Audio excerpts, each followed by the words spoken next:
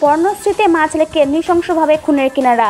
ধৃতদের একজন সন্দীপ দাস, বয়স বত্রিশ, ও অন্যজন সঞ্জয় দাস, বয়স চুয়াল্লিশ, বাড়ি মহেশতলা থানার শ্যামপুরের ঘোষপাড়াতে। জেলায় তারা অপরাধের কথা কবুল করেছে। রবিবার সাংবাদিক বৈঠকে এমনটাই জানালেন জয়েন্ট সিপি ক্রাইম। গ্রেপ্তার মৃতার দুই মাস্তুত ভাই, ধৃতদের বাড়ি মহেশতলায়। জেলায় অপরাধ কবুল করেছে ধৃতরা।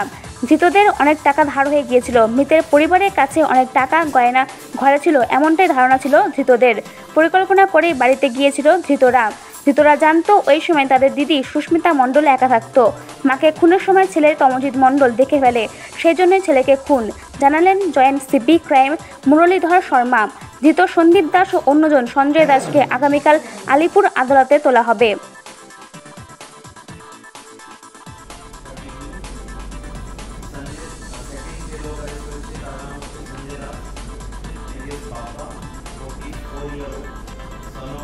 বাসুদেব দাস দুজনই ভাই আছেন এবং এদের ঠিকানা শ্যামপুর ঘোষপাড়া পিএস মহেশ দাস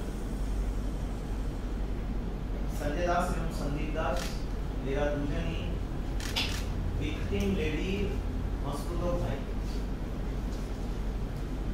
আমাদেরকে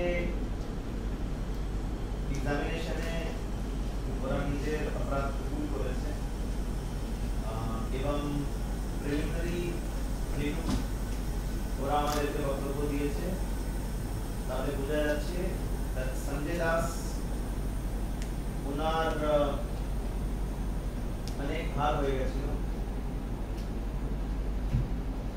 উনি এটা ভেবেছেন মানে যেহেতু যে ভিকটিমের ফ্যামিলি আছে একটু ফাইন্যান্সিয়ালি বেটার এবং ওনার যেহেতু ওনার বোন আহ, ওনার এটা মনে হয়েছে বোনের আহ, সোনা গয়না মানে ইকট্ঠা করার ওনার একটা এ, আহ, এটা ছিল she was very fond of jewellery তো ও ভেবেছে ওনার কাছে প্রচুর জুয়েলারি পাওয়া যাবে so then they plan and they visited this house ওনারা জানতেন কি ও একাই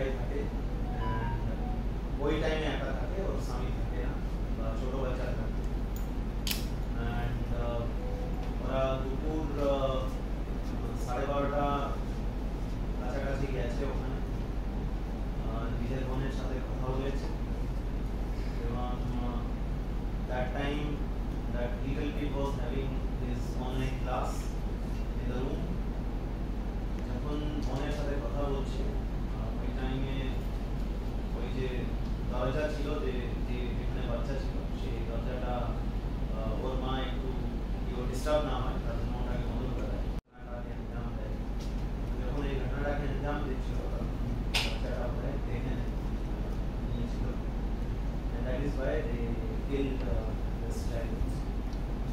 Uh, these guys Sanjay Das যে আছে তাকে আহ, প্রায় দুটো নাগাদ बरेचशी लाभदात्री होते ताते रात्री वाडीतल्या